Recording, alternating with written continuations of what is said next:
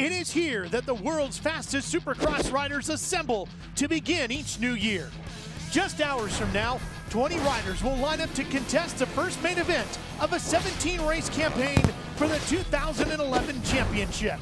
Chad Reed has done it again. He is now a two-time Monster Energy AMA Supercross and FIM World Champion. James Stewart is the man on the top step of the podium with the number one plate. Ryan Dungey has done it! The rookie is the champ! The past three series champs, Chad Reed, James Stewart, and Ryan Dungey, hope to add to their resume. Seven riders at the line will have accounted for over 100 wins in this series. Career win number 18. Kevin Windham has done it on a snowy night here in Salt Lake City. Davey Millsaps puts Honda back to the top step of the podium. The rider out of Washington on his way to his first win in 2010 as Ryan Villopoto lights the candles and takes a win.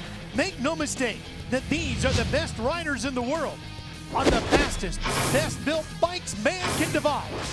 They must race, turn, and jump over a treacherous beast of a racetrack in order to survive and emerge on top in the most grueling and unforgiving motorsport. 20 riders, one dream.